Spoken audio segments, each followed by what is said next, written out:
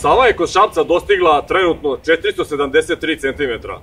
Očekuje se da u narednih par dana taj poraz bude još pola metra, tako da ćemo stići do nivoa od 520 cm. Već sada Sava je uspela da iz pojedinih vikendica izvuče deo naveštaja. Najavljeni vodostaj nas očekuje u sredu ili četvrtak. I to je situacija sa kojom se vikendaši ovde sreću svake godine. Nisam grad neće biti ugrožen, međutim postavlja se pitanje ako je vodostaj sada na takvom nivou, kakav nas očekuje u aprilu ili maju? I da li će tada jedino prevozno sredstvo na ovom području biti ovaj čamac? Sada se nalazimo kod Kočinog kanala u predelu da nema vikendica. Ovde vidimo očigledan primer loše gazdovanja područjem koje se nalazi u nebranjenom pojasu.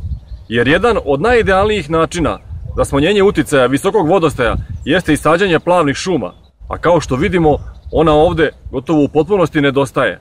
Samo preko puta na klanjačkoj strani vidimo kako to treba da izgleda. A zašto se Šapčani plaše meseca maja?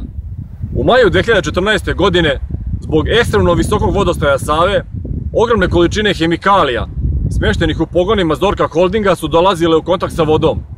A posebna opasnost je pretila da soli cijanida, smeštene u takozvanom Zorkinom institutu, dođu u kontakt sa vodom i rastvaranjem oslobode otrovni gas koji bi za vrlo kratko vreme usmrtio celokupnu ljudsku populaciju na ovom prostoru.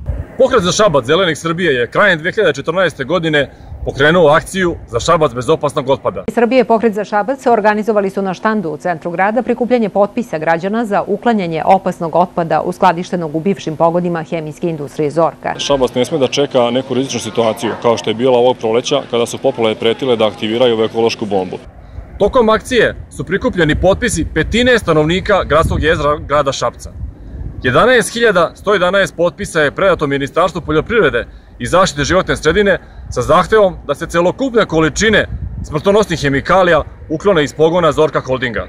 Mi četvrtu jedinicu dodeljujemo aktuelnoj vladi na čelu sa Aleksandrom Vučićem i tražimo od njih da problem rešavanja opasnog otpada, ne samo u Šapcu, već na teritoriji cele Srbije, uvrste na listu prioritetnih ciljeva ove vlade.